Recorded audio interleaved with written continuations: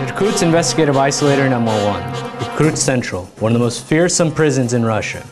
The torture in Guantanamo jail is child's play compared to what goes on in Investigative Isolator Number 1 in the city of Irkutsk, located in Siberia.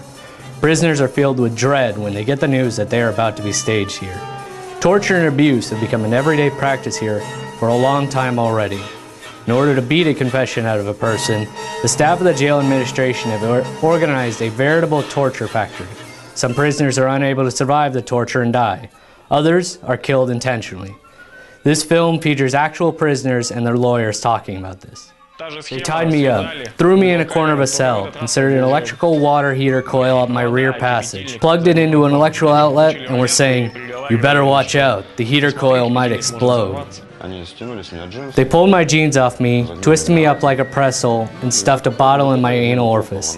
The UBA, UBO employee, Igor Nikolaevich Livchuk, wound wires around my scrotum, and the other around the little finger of my left hand.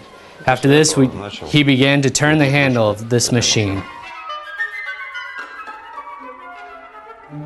Only by the way of torture, by the way of abuses, did they obtain confessions from the suspects, from the accused.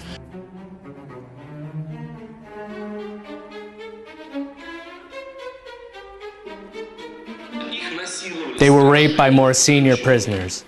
They dragged out 12, 14 year old children naked, wearing nothing but underpants, onto the street, beat everybody up, sat them in prison transports, and drove them off.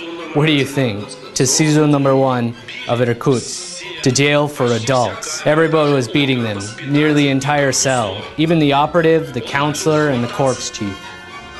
Resident of the city of Irkutsk, Sergei Alexandrovich Nevtska addressed himself to the head of the investigative committee of Russia, Alexander Pastruk, uh, and sent copies of his complaint to the editorial boards of several newspaper and civic organizations.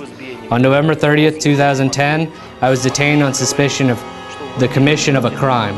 Upon, upon arrival in OVCH4 under the Irkutsk Oblast GUVD, they began to beat me. An especially active role in the beating of me was performed by investigator Matveyev. Matveyev was saying that Vladimir Putin had permitted obtaining truth and justice by any means.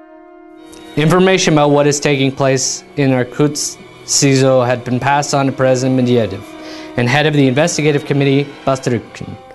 But not a thing is known as of yet about any measures with respect to curbing of the anything goes policy and punishing of the guilty.